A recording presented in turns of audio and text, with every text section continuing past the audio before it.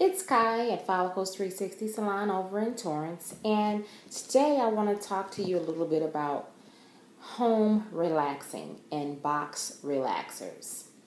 Well, um, I've been doing this thing called hair for over 20 years, been licensed, and I've seen a lot. And I, when I wore relaxer, did not relax my own hair. Because first of all this is a chemical. You can harm yourself. Second of all i can't see the back of my head so it's inevitable. I'm going to overlap that relaxer. And when i continue to overlap that relaxer i can run the risk of breakage breaking my hair off because i'm going to eventually over process my hair.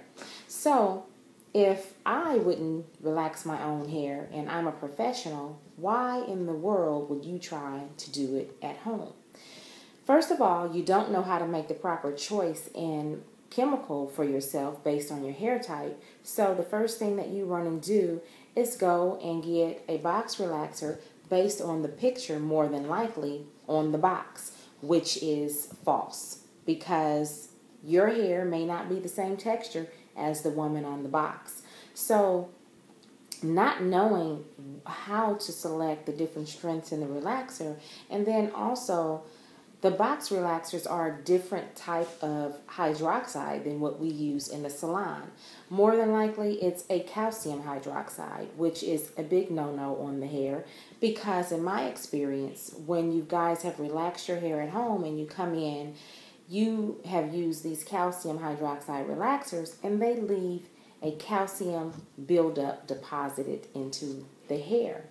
And what this calcium deposit does is it makes the hair very, very dull, very, very dry, and then also it swells the cuticle and doesn't even break down the hair as much because they buffered it down for home use. So you're really just messing up your hair and then we have to go in and try to correct it. You probably will end up losing some of the length because you've done some so much damage to your hair, and we have to go in and correct it to restore it and get it get it back to the quality hair that it should be.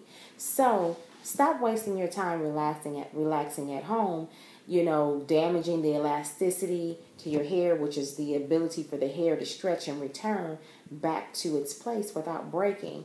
Your hair becomes more porous. It's just all bad. So stop messing your hair up at home. And when it's relaxer time, it's okay if you want to shampoo in between relaxers. But when it comes to that chemical, you should definitely find a salon that you can trust and go in and get your chemical services done and then in between time, if you just don't have the time or maybe you can't afford to frequent the salon, then inquire about purchasing the proper maintenance um, home care for your hair so that you can make sure you have proper shampoo and conditioners and things like that for your hair so that you can have beautiful tresses and you don't have to worry about having the calcium build up on your hair and selecting the improper products improper improper um, chemicals for your hair. So I hope this helps someone today. That's the hair care tip of the day. And if you have any questions, you can reach out to me at folliclez.com. If you would like to schedule an appointment or a consultation, I can be reached at 310 324 3007. Until then, stay tuned for the next hair care tip.